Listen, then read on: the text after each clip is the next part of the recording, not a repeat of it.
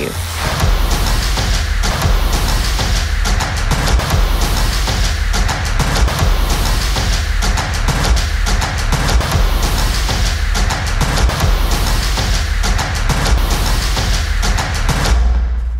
छोटी चीज़ें हैं जो हमें कैप्टन मार्वल 2 के बारे में जाननी चाहिए फ़िल्म थिएटर्स में जाकर देखने से पहले आप क्या और कितने ज्ञान अब तक के लिए रख सकते हैं जानने के लिए पूरा वीडियो देखिए और हमारे चैनल को सब्सक्राइब करना मत भूलिएगा।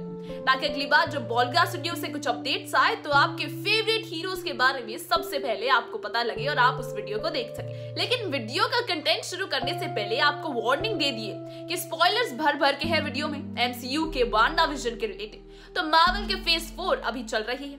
पिछले दो महीनों से फैंस डिज्नी प्लस से चिपके हुए हैं। सबसे पहले एमसीयू सीरीज़ वांडा विजन की जान निकली एलिजाबेथ ऑल्सन के स्कारलेट विच और पॉल बेटनी के ही वर्जन के लिए एक बहुत ही लेड कहानी दे, देने के साथ साथ सीरीज़ में ब्री लॉसन का कैप्टन मार्वल 2 में कार और डेनफर से रिलेटेड कुछ डिटेल्स भी थी।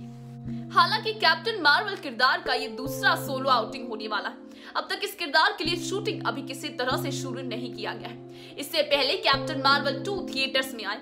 मार्वल सिनेमैटिक यूनिवर्स के और कई सारी सीरीज़ और मूवीज़ इसके बीच आने वाली है। कैप्टन मार्वल फ्रेंचाइजी में ब्री लार्सन तो ज़रूर आने वाले हैं। इस बार कहानी मार्वल सिनेमैटिक यूनिवर्स के करंट टाइमलाइन को फॉलो करने वाली है। ना कि पहले पार्ट की तरह 90s की टाइमलाइन को जिसमें ओरिजिनल अपने ओरिजिन के बारे में बताते हैं।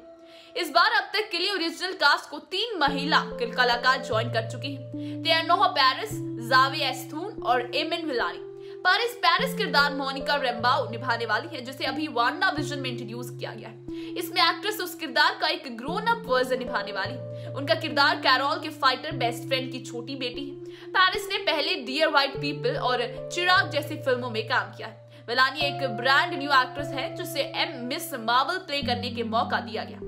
एसॉन जिसे वेलवेट बुजशा और ग्रीता में देखा गया है, हालाँकि इस फ़िल्म में एक नए अनजान किरदार की भूमिका निभाने वाली है। 2022 में मार्वल सिनेमैटिक यूनिवर्स या एमसीयू की आने वाली चार फ़िल्में जिनमें से आखिरी फ़िल्म है कैप्टन मार्वल 2 अब तक के लिए टेंटिवली फ़िल्म का रिलीज़ डेट नवंबर 11 2022 रखा गया है। Doctor Strange in the Multiverse of Madness Thor Love and Thunder and Black Panther के बाद आने वाली है। पहले कैप्टन मार्वल को अन्ना बॉर्डन और रियान फ्लैक ने लिखा था और उससे निर्देशन भी किया गया था, जिन्होंने पहले it's kind of a funny story और हाफ़ नेल्सन की टीम में थे।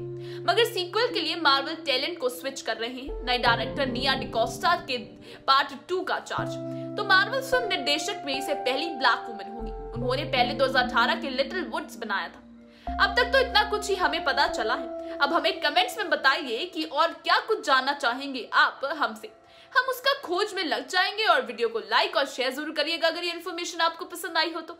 मैं हूँ पूनम और आज की हमारी स्क्रिप्ट लिखी है साई श्रेष्ठ दास ने।